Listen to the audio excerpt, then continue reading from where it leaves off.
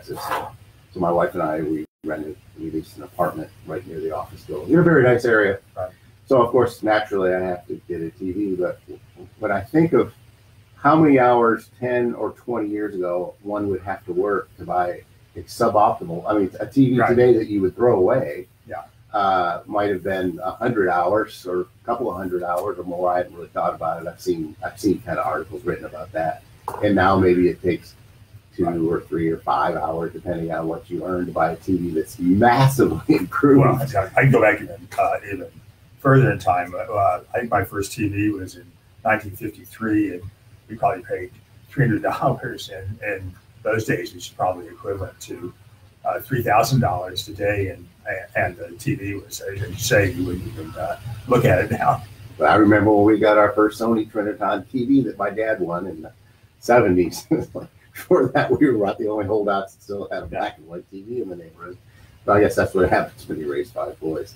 Well, good news yesterday. Mean, in the big picture, uh, it seems like we've made really good, strong progress towards trade deals, uh, bilateral deal with Mexico. Uh, now Canada wants to come to the table. There's a little more favorable talk, maybe between China. Is this a result of? Here's what I think that's happening, you tell me, like my teacher used to tell me how wrong I was all the time. So prior to Trump, and again, this is I'm, I'm staying away from politics, so don't call me wanting to argue about politics. It's not the point I'm making, but I'm just a little more factual. I think factual. Uh, we had higher tariffs, and now we're talking about, you know, it seems like we were subsidizing the world in a way. In other words, if you look at our average tariff pre-Trump versus China, uh, South Korea, Europe, Mexico, etc. um, it would certainly give the appearance that we were subsidizing the world. Then uh, we cut corporate tax rates uh, down to 21%. Prior to that, we were much higher than most of those other countries. Uh, again, putting us kind of in a disadvantage for, for uh, area. We're, we've cut deregulation. Suddenly now, uh, everybody kind of wants, seemingly wants to come to the table. We've struck our first deal, Canada. Is the fact, and, and kind of along with that, I guess I can't ignore the, the kind of the energy independence theme here, where we're now the largest producer of petroleum products. I don't, I'm not going to say oil, but petroleum products, and we're a net exporter in some areas. That seems altogether seems to have changed the balance of power in the world, where everybody's going, hey, we might want to get on board of this because the U.S. now is really showing its strength as an economic power now that they're not subsidizing a bunch of the world. Trend towards lower taxation, lower regulation, and now everybody's, you know, I mean, look at the sea changes in Saudi Arabia. Women can drive now, and all. I, I don't think that's an accident. The fact that we don't need their oil as much as we used to. Right.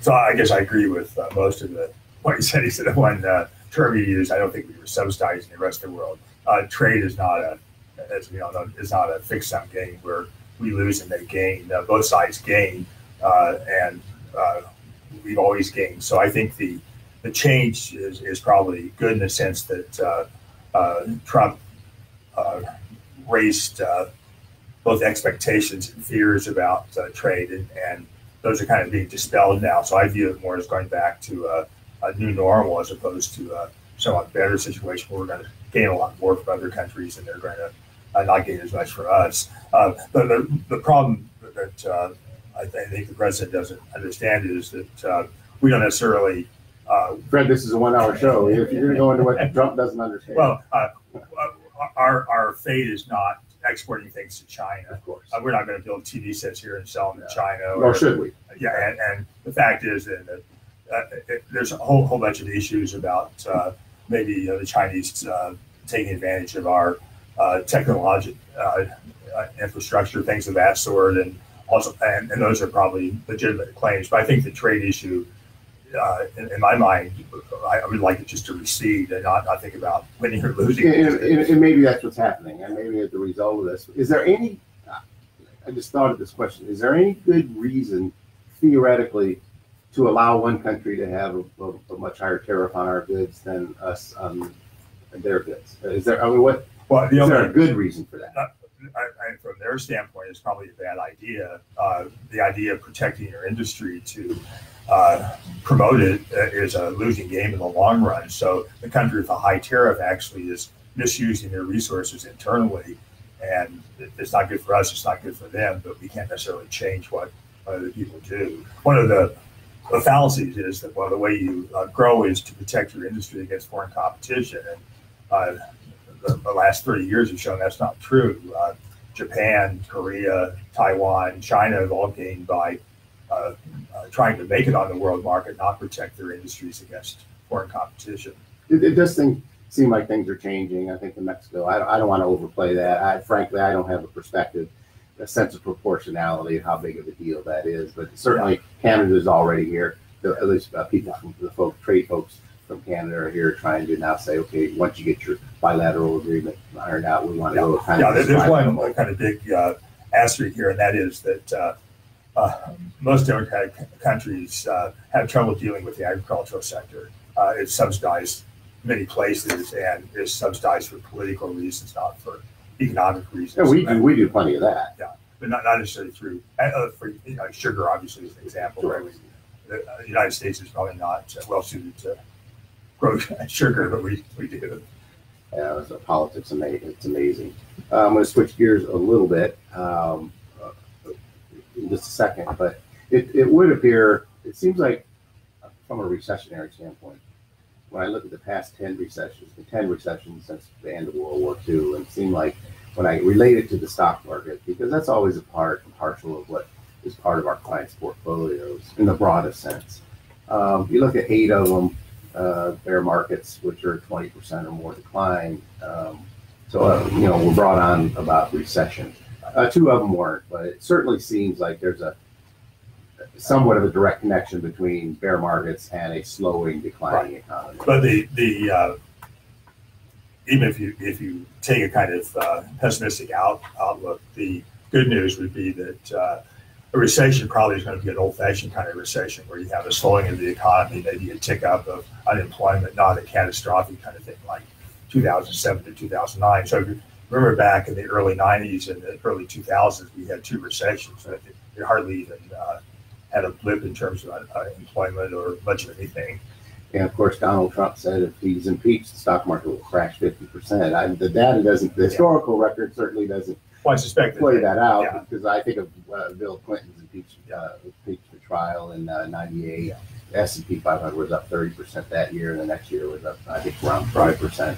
But of course, when Nixon was impeached, the market fell about 23%. But that, I, that's my belief that when markets are trending up, they're probably going to continue to trend up. It's probably, we probably overplay this, how right. important the president or yeah, it's hard stretch too. I'm, I'm, I'm, i was thinking, I'm glad I'm not a, I haven't on a market timer the last month or so because I wouldn't have uh, foreseen what's, what's happened the last several weeks uh, with the market going up really substantially when I thought there was uh, quite a bit of uh, negative things uh, in, in, the works. Well, I mean, that in that was one of the things I was going to talk about maybe at the end of this. I think that takes people by surprise. It's not as if there hasn't been a lot of bad news this year. We've had emerging markets, real crises. We've had increasing interest rates. Uh, we've had a lot of political, legal turmoil. Uh, there's been a lot of bad news just this year, and here we are sitting at all-time highs. And I think it's, you know, isn't that because what you've always said? By the time you're sitting around thinking about how this is going to impact the market, the market's already moved on and probably either overdone it one way or another. Right. I, I, I guess I was surprised though about the uh, jump with the uh, uh, trade agreement. I, I, thought that that been sort of incorporated in that they would smooth it over. The market did actually respond to that. Yeah, and I, my view is I, I use a simple capitalization model for what I think the stock market is. It you know fairly priced, overpriced. I don't use it as a tool at all as far as in the backdrop of what we do for clients. But I like to have my own personal sense, uh, particularly when we, for since 2008 or 2009, the market's overvalued and going to crash at any moment. And at the end of 2017, even use reflecting higher interest rates, I had a stock broad stock market that was probably undervalued by 10%, and now earnings have gone up by 10% since then. Right. So uh, I guess in some ways it doesn't surprise me, though I, I don't sit around forecasting things and I don't talk about it. And if a client would ever ask, what do you think? I might share some feelings that I thought we were in a consolidation phase. Pretty typical. You do this for 35 years, you get a sense. It's not really usable. But you wouldn't tell them to Uh, It's not usable. readjust their It's- uh, portfolio. it's not usable, but I just, I guess there is that dark side of me that I do have feelings and, and, and, and this doesn't surprise me because, uh, fundamental, you know, the valuations are reasonable, earnings are great. Uh, stock prices can go higher for either valuations can increase about what people will pay for a dollar of earnings. And right now they're at a twenty-five year. If you look at forward, like what are earnings going to be out of the next twelve months? That is tracked every day, you know, and, uh, the 25 year average is about 16 and a half times earnings and here we sit at about 16 and a half times earnings so it doesn't scream that stocks are, are, are cheap by any means though i still think they're undervalued uh, but again I, I think you always are wise to bring up the point it's one thing to talk about these things it's not another thing to act on them. Well, the other thing is- they're not actionable But Undervalued, overvalued. I mean, if you really believe the market, uh, the value is what the market says it is, then Of course it is, and it doesn't care who the president is. It doesn't care who the administration is. But when the economy's still humming along, we haven't. I think the other thing is we haven't really had any economic extremes. Yeah. We've had a lot of economic extremists telling us, you know, we, you know, we're going to collapse at any time now for the last eight or nine or ten years. Uh, but it seems to me that the markets are not concerned about, you know, our things, uh, even though they're far from perfect. It doesn't seem they don't care about is it good or bad? It, it seems like they, when I talk about the market, it's a collection of overlapping Right. billions of minds. Is are things getting better or are they getting worse economically? And this is sort of, uh, I'm not sure whether it's uh, true or not, but uh, President Obama's worst, uh, worst nightmare, he thought that he spent eight years getting the economy all set to go, and and the Democrats didn't put it out. And now Trump walks in and And, and and what's your take on that? I uh, well, no, neither one should. no, it's just not not anywhere true or false for Right. any other politician. Yeah, it's just kind of like bad luck. You know, it's kind of like, darn it, I just had this thing ready to go. At least I'm sure that's what Obama thinks, Yeah. and it may be true. Well, the same Uh, thing can be said for uh, uh, Bill Clinton in uh, 1993. He walked into a really great situation. Uh, We walked into a massive secular bull market. which, I mean, again, so you could say, well, uh, uh, George H.W. Bush created that, but that's probably not true either. Politics, politics. I, I just it doesn't make sense to uh, let your ideologies drive your investment portfolio. That's for sure. I've seen that fail time and time again. Well, David, believe it or not, we're going to start talking to you a little bit uh, because you recently wrote a blog about retirement planning rule of thumb that is so often talked about and published and written about. It, and you wrote an article why you can't trust, uh, you can't rely on the four percent rule. Uh, what was the motivation behind that? I mean, we see this for uh, even most prospective clients walking in seem to have some awareness of of, of this. I'm a, my ability to potentially spend four percent from my portfolio and increase that by inflation every year, and it's just kind of this rule of thumb. I call it a rule of thumb, but rule of thumb that lingers. Yeah, I think the motivation was honestly, like you said, just the fact that it is so prevalent in the world today. I mean, I just did a quick Google search to see, you know, I, I searched how much can I withdraw from my investment portfolio? And I think probably 99% of the results said, oh, you can basically withdraw 4% from your portfolio. They reference the 4% rule. And I'll explain kind of Okay. probably a little more exactly what that means or how it works. Um, and I think going along with that, the more I've been in the industry, the more I've developed retirement plans for clients, the more I've realized that rule really doesn't work for the vast majority of people. Or I should more than saying it doesn't work. work. I should say it's probably not necessarily the best option for the majority of people. And I think that that just makes sense because I think really anything in life, but financial planning especially, there is no one size fits all because everyone's situation is different. Everyone has different time horizons, different portfolios, different goals. Um, and all of those things are going to impact how much you can withdraw from your investment portfolio. So I thought it was really important to basically say, you know, write an article that says, here's what the 4% rule is. Here are some of the issues with blindly following it and things to consider when you're actually trying to develop a strategy for how much you're going to withdraw from your investment portfolio in retirement. So uh, why don't you get into what the four percent rule, kind of where this all came from? Yeah, so it originated uh, from research by a guy named uh, William Bengen. I think that's how you pronounce his name.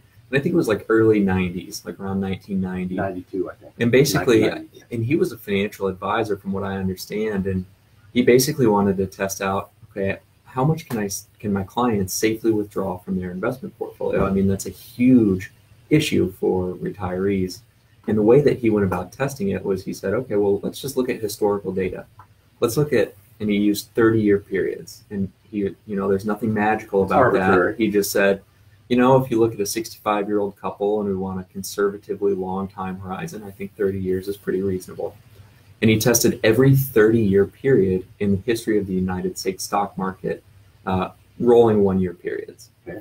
And basically, what he found is that even in the absolute worst 30 year period, you could have withdrawn 4% of your starting portfolio balance, increased it every year for the rate of inflation, and you wouldn't have run out of money.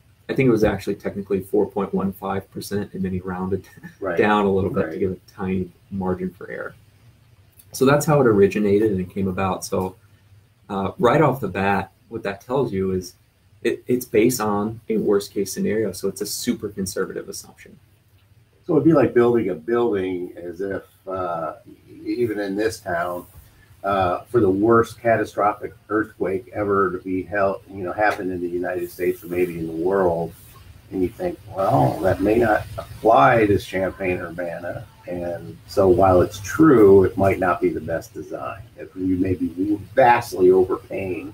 And we'll get into that because in, in essence, so part of what the 4% rule does is you do pay, you're probably going to pay a huge price for that conservatism. Right, and I think the the first thing I even mentioned is just the, the big issue is that it's a fixed portfolio withdrawal, and you're taking that from a variable investment portfolio. So I think just fundamentally there's something wrong with that that you're not really adapting to the actual investment results that you're achieving. So the earthquake analogy really isn't probably not very, very useful because so you can't go you can't go back and uh, that's true redo the earthquake. Well, that's true. Uh, uh, I, I, guess that was my, you know, not so uh, clever way of saying, you know, it's kind of like being overly conservative. You're you're, you're living as if uh, two global recessions or depressions in a row are a, a sure thing.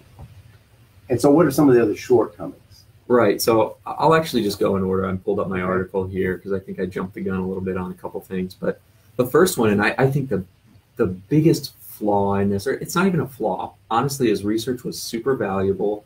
It it added a lot of like um, understanding to the financial advisory community in terms of how much you can withdraw from an investment portfolio. But like I said, it's based on a 30 year time horizon. Not every retiree has a 30 year time horizon. Right. I may retire at 70. If you retire at 70, maybe you have a 20 year time horizon.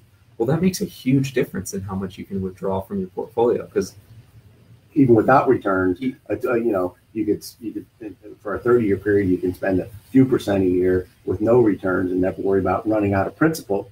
you may slide into zero, but over a 20 year period, you know, it's a it's a much larger. Exactly. So, rate.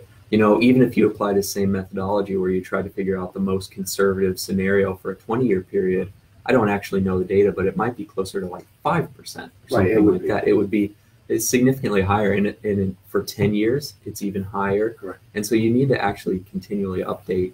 And the flip side is also true to a certain extent. So if you are someone who retires super early and you're in your 40s and you retire you know the 4% rule is based on a 30 year period. You might have 50 years.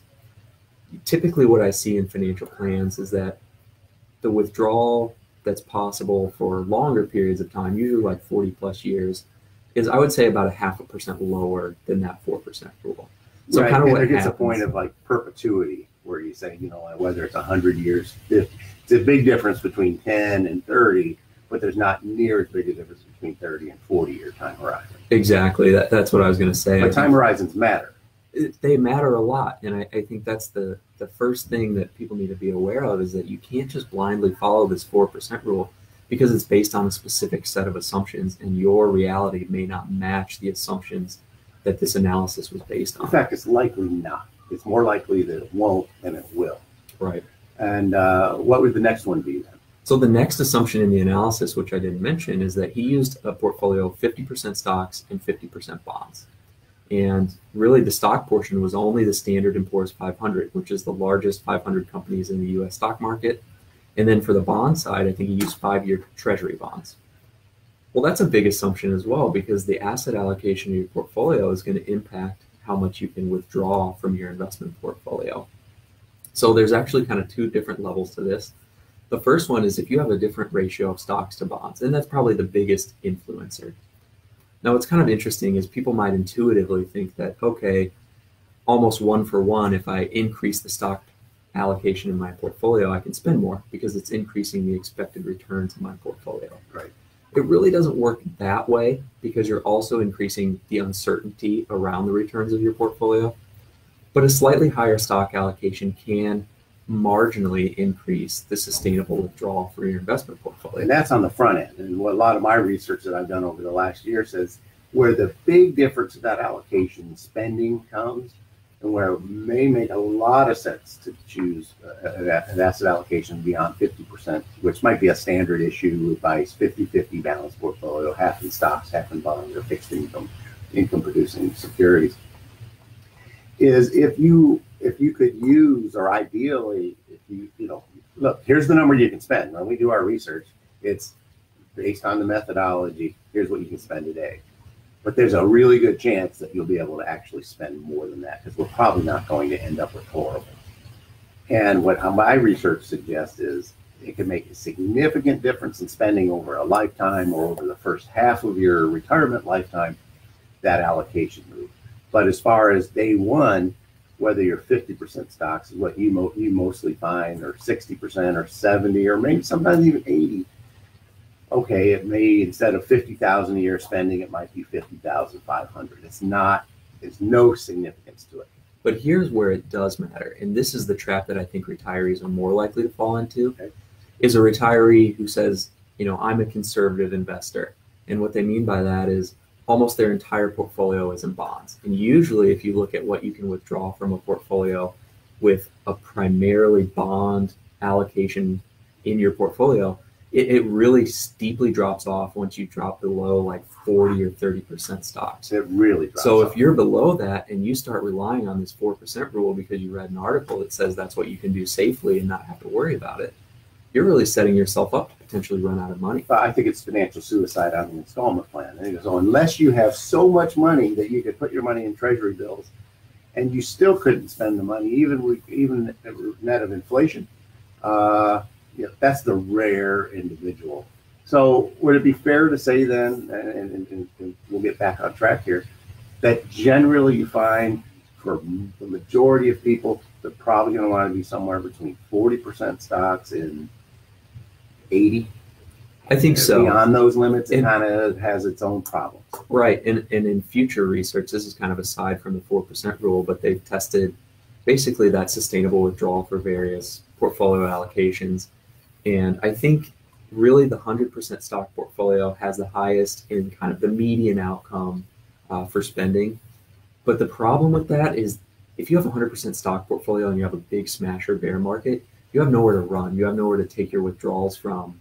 Uh, Right. And now you start, the market's down. and So instead of uh, eating the eggs from the golden goose, you start eating the golden goose. Right. And that's the sequence of returns risk that we may talk about today, we may not, but it certainly comes into play here because the order of returns are probably more important than the return itself. Meanwhile, we do have a caller. We have Jim on line one. Jim, welcome to On the Money.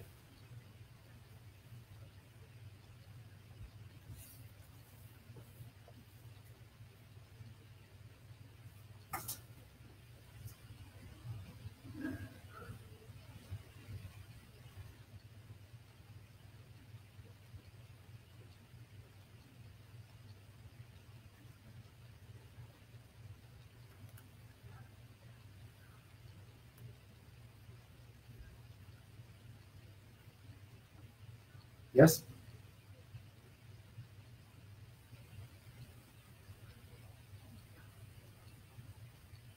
Yes?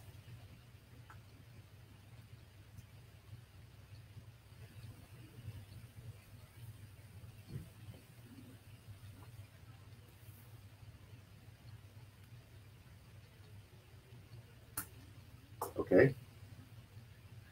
So I'm gonna, Jim, I'm gonna recap the question because we're not sure on Facebook Live if people heard the question.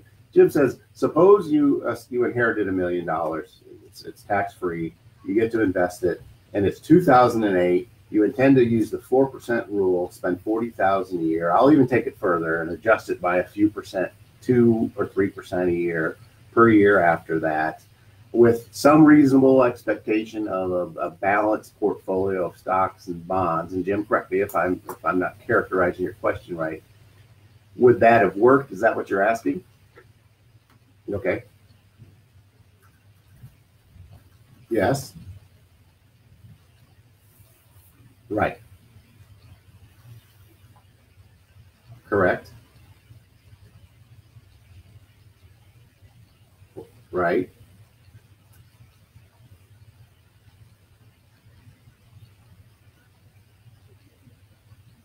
Yep. Yes.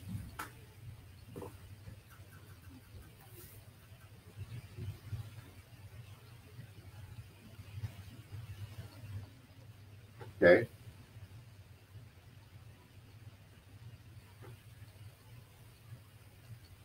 Uh, it could be a little bit different. Uh, I'm just thinking through that. I've actually done the research because we have a certain, we have rules that we follow, uh, and I always also compare it to the four percent rule. So I do historical audits, and and uh, it would have worked. The four percent rule would have worked with a few percent increase. Now uh, you're asked a different question. Uh, what if we earned exactly four percent a year? You should have preserved, assuming there's no fees involved uh, and, forget about taxes. It's just a it's a tax free portfolio. Uh, you should have preserved your million dollars. It's hard to I think it's hard to invest in 2008 to 2018 period. If you had 50 percent stock and you end up with uh, a fourfold increase in stock value, right. But, what, but I think what Jim's saying is forget what the mix is, right, Jim? Yeah. You're just saying you.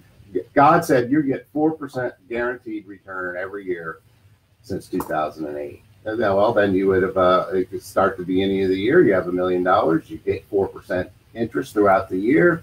You have a million forty at the end of the year, assuming you spend it at the end of the year. So there's a little quirk in there because if you take the forty out at the beginning, you could have slightly less. Uh, but it's it's insignificant. But you would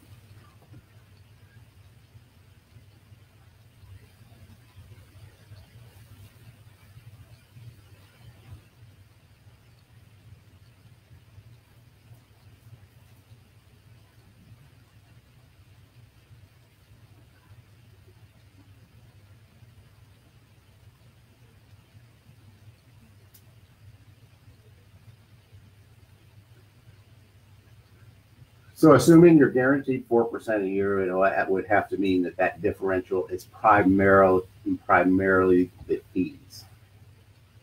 Okay. I think the, the main You thing. guys reading that the same way I am? No.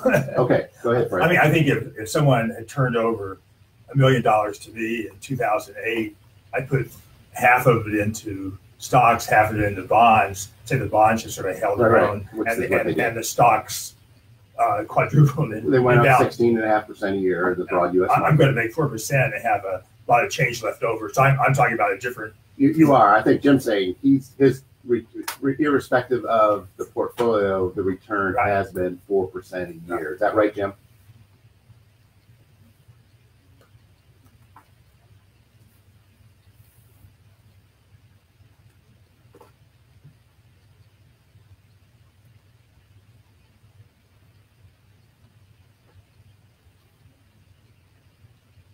Well, okay, so then it depends on your asset mix, but it's somewhere around a balanced portfolio. I've done, yeah, I've, I've done the work. Uh, uh, I'm not sure that you would have preserved the full million in this case. You would have preserved your lifestyle uh, if you didn't make any changes. Um, I think of things in the way we make changes. Once the plan becomes overvalued, the client can spend more money. So that's most of the research I'm doing. Um, I've actually seen updates to the 4% rule with Michael Kitces, and all I know is the 4% rule since 2008 or 2009 has worked quite well with a balanced portfolio where you probably have close or more than you started with uh, using the 4% rule because you had a bond portfolio that probably earned a couple of percent a year and you have a stock portfolio that earned 16.5% a year. Now, this is from the bottom. So you're talking about 2008, you went through the decline. I would say that my expectations would be pretty close to a preserved using four percent rule, a 50-50 portfolio, you would have you would have come somewhere close to preserving, not, not net of inflation, nominally, your original million dollars.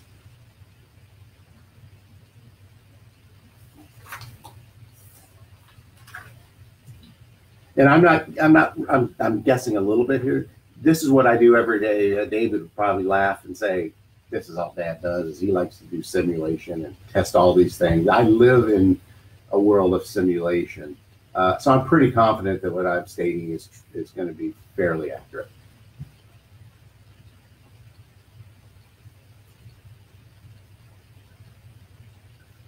Well, one way to do it, Jim, is uh, visit with me sometime. I promise you, uh, you can talk to anybody that's ever dealt with us. We don't push people. To, we I don't want to push people to visit with me. Then I got to resell them every six months. However, since that's the world I live in, it would take you and I about 15 minutes to come up with your exact answer. Okay. Okay. Hope it helps. All right. Thanks. All right, David and Fred. Sorry to, uh, you know, I, maybe Facebook's not picking up the, the question here. So anybody, yeah, we're having some audio issues. And it was just a, a, a, kind of a historical audit question that, that Jim had is if I followed the four percent rule on a balanced portfolio, would I preserve my portfolio? And my answer was you should have pretty much, if not enhanced it, preserved it some. I was going to say, I think it depends where you're measuring from. If you're going from right exactly. before the the crash, and, and he said or 2008, right, or right after. If the worst part 2008 or January 1st, I'm assuming January 1st, you you would have been, you would probably preserve most, if not all, of your original million dollars using the four percent rule. Because Jim didn't talk about spending an additional two or three percent a year to offset the impact of inflation. Let's get back to your article. We have, uh, you know, maybe uh, ten minutes or so left, David. For sure. Uh, what are some of the other issues with the four percent rule. Well, I think we can talk about the second layer. We kind of almost alluded to okay. this. Uh, Dr. Giertz did a little bit, but you know, there it's not just about stocks versus bonds. You also have to look at okay, well, what types of stocks and bonds am I invested in? How diversified is my investment portfolio? Um, if you look at Bain's research, like I said, he was only invested in basically the biggest companies in the U.S. stock market and five-year Treasury bonds that's not a very diversified portfolio. I mean, 500 sounds like a lot of companies, but they're all in the same asset class. Right. So if you diversify away from that, it can kind of smooth out some of the ups and downs of your portfolio to a certain degree. Right. It doesn't eliminate them by any means and can actually increase the sustainable withdrawal rate. And Bill Bengen actually updated his research a little bit later with basically the same methodology. But all he did was add small company stocks in the US to the investment portfolio. And he found that that 4% safe withdrawal could be increased to 4.5%. So just adding that one asset class increased the safe withdrawal rate by a half a percent. or probably even 12% additional spending, you know, from 4 to 4.5%. Now, if you add in additional asset classes, like you start adding in international stocks and you add in some real estate or REITs, um, you add in additional bonds, it may marginally increase that as well. But you do get into diminishing returns pretty quickly as you start adding more and more asset classes to your portfolio. Sure. But it does so, have an impact. But it does have an impact. So that's something to be aware of. Most people do not just own the S&P 500 index and five-year treasury bonds. If you're a properly diversified investor, you should own a lot more asset classes than that. Okay. And what about uh, if it's so conservative out of the gate that we're assuming Armageddon and that's where the rule, that's where the spending comes from, that we have to we have to assume that we're going to get those worst returns, then then there's got to be a rub there. Right. So by definition, most of the scenarios are not going to be anywhere near the worst case scenario. So if you get even mediocre or even just average returns, you're going to be significantly underspending compared to what you could spend. In other words, if we knew you were going to get average returns, right. you could spend a heck of a lot more than 4%. Substantially more. But because you don't know that and we're banking on the worst case scenario, you're starting at 4%. So, really, ideally, you would have some sort of methodology in, in place to increase your portfolio withdrawals if returns are above average. And so, it needs to be a mechanism, and it, and it lacks that mechanism that says, wait a minute, we really don't want a system that if we're going off the cliff, we keep going off the cliff with it we want to make adjustments. And the 4% rule doesn't have any adjustments, does it? Right. So it opens you up to two uh, scenarios that you really don't want, which is underspending and overspending. Now, the overspending, I think, is a, a relatively low likelihood, but there are people out there that say, you know, because of market valuations and because interest rates are low, maybe the 4% rule doesn't necessarily hold as well as it could have, you know, using past historical Right. data. Whether or not that's true, I don't know. But uh, just the fact that you're taking a fixed withdrawal opens you up to that possibility of overspending. Um, and like we already talked about, more than likely you're going to end up significantly underspending if you follow the 4% rule because you're you're living as if you're getting basically a 1929 through 58 market scenario but most of the time returns are a lot better than that Right. And so they're really, if you really want to live your complete life, there has to be a mechanism in place that basically what I call them guardrails that say, look, uh, we weren't expecting these good, this good of returns. Uh, therefore, we are overfunded, and therefore, here's how much more you can spend. And the other side of that is, wow, we really did work walk into the buzzsaw the first few years, which basically key. The first three to five years are really important. And without making adjustments, you know, the, the fact is, if you look at most simulation, you'll find that most financial advisors will come up with a success rate of if we do this a thousand times or ten thousand times, eighty-five percent of them exceeded the goal. Well, then fifteen percent of them ran it into zero. Well, it's not really going to be zero uh, because you're going to do something. And this is the frustration I have with the financial services industry. They really can't describe what it is they would do and how it would impact you. And that's, of course, where our research has come in that really provides our clients with a lot better understanding of that. But it really misses that mechanism, doesn't it? for sure and just to put a little perspective on it they have actually analyzed kind of the various outcomes and percentiles of following a 4% rule and basically what they found is 96% of the time if you followed the 4% rule for 30 year periods in the past you would have ended up with more money than you started with Much more. Now that's not adjusted for inflation, so it might actually spend like less than what you have. Right. But yeah, 96% of the time you would have at least maintained your starting balance. Right. So that sounds like I think a lot of people would hear that and say, At well, so what? I'm a conservative person. I don't need to live a, a lavish lifestyle. I don't see what's wrong with underspending. But to me, that represents money that you could have, even if you're not going to use it on yourself, you could have given away while you're alive so that you get to see the positive impact that you're having on the people around you or the institutions that you care about, as opposed to leaving a giant lump sum when you when you die. Yeah. So it's look, there's a cost for everything. You don't really ever eliminate risk. You trade one risk off for another, and it's really if, if, if the next part is what what do people do then? I'm, I'm going to preface it with, uh, you know, this this is where a really good financial advisor will will price things for you. Okay, I understand, Mr. and Mrs. Smith. You're a conservative investor. You probably can't even spend what we told you you can spend.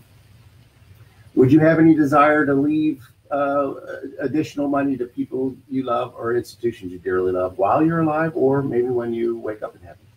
And many times when they see that differential of being able to do what we just talked about, it's a good enough reason for them to instead of be instead of being 40 or 50 percent equity to move out to 60 or 70 percent equity because it can have a significant impact in that area. But uh, go ahead. So what what are you guys you know? So what are people left with to do? So the four percent rule is kind of sort of useful, but not really practically useful. Well, yeah, it's useful if your scenario or your specific situation matches up well with the assumptions that went into Bengen's analysis. If you have about 30 years to live, eh, you know, obviously you're guessing, and you have about a 50 50 portfolio, that might be a reasonable place to start. Except Dave, if you, Except if the you use simulated data instead of historical, because we have limited historical data, and you assume that we could have periods, 30 year periods that are worse than we ever had, that opens you up to maybe a one out of six chance of actually running out of money of lifestyle prematurely, and that's not very good odds. That would that would mm-hmm. really bother me.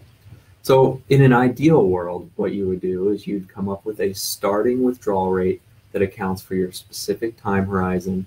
Obviously, again, an educated guess at how long you're going to live, and accounts for your specific asset allocation. And that's just the starting point. And then, equally as important is you you need some sort of process in place to adjust your portfolio withdrawals based on the returns that you actually earn.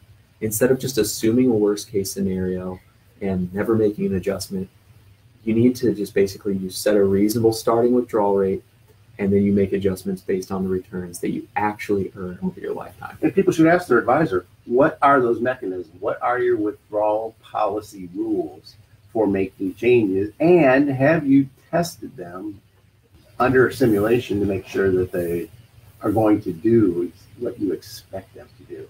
Now, unfortunately, 99% of the advisors out there are going to be able to say, well, we don't know. But we have a pretty good idea of what we might do, you know, to make those changes. But we really have no real concept of what that means from a probability of your life. Well, I suspect, I don't know your client base, but I suspect that most of your clients aren't shooting for exiting with zero. They're, uh, they're uh, expected to have uh, something left. That gives you even more flexibility because you, you can always uh, draw on your, uh, what you expect to bequeath to your heirs. Exactly. If things don't go right, it's, it's not your problem, it's your, Exactly, and and and all the commercial software that's available, really the only difference, as David said, they really don't. You know, instead of a forty percent stock por- portfolio versus eighty percent, I'm going to a little bit extreme. Uh, your your lifestyle at the beginning is not going to be all that much different, but it may multiply the ending legacy value. Well, not everybody wants to multiply that, but as you picked up on, that really reflects potential additional enhanced lifestyle. And we've been we've been able to develop the tools that allow us to show the clients what that might mean to them in a practical sense. So, but you're right. Nobody wants to go in into a plan thinking I'm going to slide in with my last dollar. Some people acutely say they do, you know, you know, jokingly say they do, but they really don't because we need to have a margin for life. Well, exactly. That's what I was going to say. If you knew exactly how long you were going to live and exactly what your investment returns were going to be in And the each order year, of those returns. Then you could actually build a plan to do that. But the problem is we don't know that. So if you live longer than you anticipate, or if returns are are particularly bad, you might have planned on going, you know, to zero on the, the year that you die or the day you die. But really, you go to zero five years before that. You obviously don't want that scenario. So So, Fred, uh, any updates on the? I guess there wouldn't be any updates on the state of Illinois. It's not as if things change uh, in the landscape from our structural No, problems. Other than there seems to be so. more and more articles showing that it's more and more. It's always the next article is always it's worse than you, we even thought. Is it's what's well, actually, uh, a little bit, uh, relatively good news. I guess Chicago's uh, bond rating went up a little bit and a few things like that. I think the uncertainty now is the election is, uh, you know, far from clear that uh, Governor Rauner is going to be reelected. So there's always the issue about what comes next. But you're not really worried that even though Pritzker has said he tends to maybe try to go for a progressive and higher taxes for the wealthy, that from a mechanism standpoint, that's politically and mechanism wise, that's not all that easy to do. It's unlikely, right?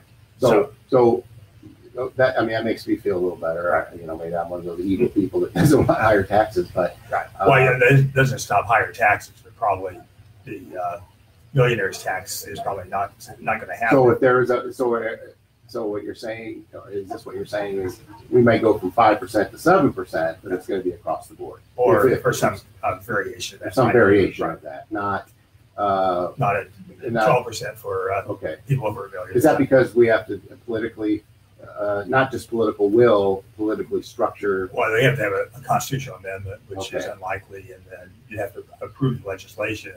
And uh, like it or not, uh, high income people have a, a pretty good uh, say in, in what happens. And, so when I, when I hear him, and I'm not being, I'm being, trying to be apolitical here, uh, but when I see this millionaire tax on people like he says me and, Yeah. and Rauner, uh, that's probably fair. Yeah, I don't think, I- to be, to be fair, I don't think has ever talked about the millionaire's tax. He's talked about a um, very progressive uh, tax, which we don't have now. What's your take on the progressive versus the flat? Just, we have thirty seconds. Is one better than the other or more ideal? Uh, progressive, I think, is uh, probably more appropriate for the federal level. Um, high rates of progression for states is counterproductive because people have the option of uh, taking some uh, action to avoid that. Okay, so money moves where it's treated best Yeah. from state to state, but. It's easier, you know, it's easier to move to from Illinois to uh, Indiana than from Illinois to New Zealand. Okay, well, another edition of Paul Ruedi's On the Money. Thanks for listening, thanks for the calls, and thanks for the text. And we'll be back in a couple of weeks. Thanks for listening.